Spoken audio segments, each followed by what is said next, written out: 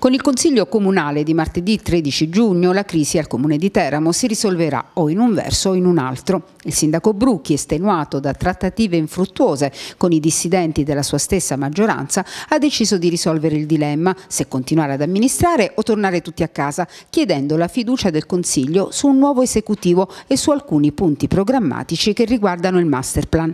In queste ore si fanno mille congetture, ma la partita si giocherà pubblicamente sotto gli occhi attoniti di una città che non si riconosce in questi giochi di poltrone. Sindaco, fuori dai denti, ma domani che cosa succederà?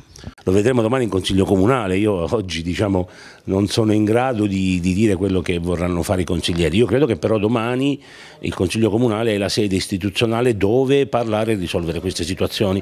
Non lo si può fare sui giornali, non lo si può fare uh, nei bar, lo si deve fare nella sede giusta e quindi io domani arriverò con la mia proposta. Una proposta che prevede una giunta?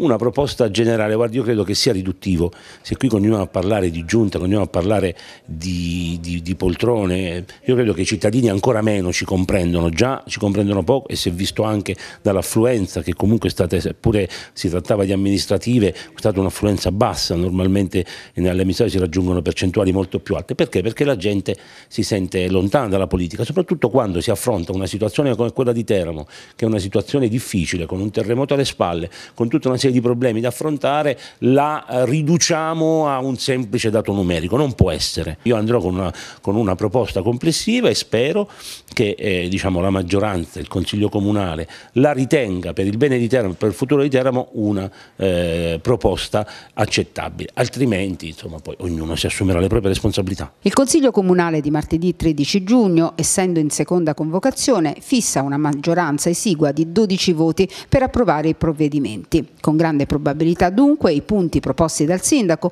passeranno, ma se così fosse resterebbe l'inopportunità a proseguire il mandato di primo cittadino.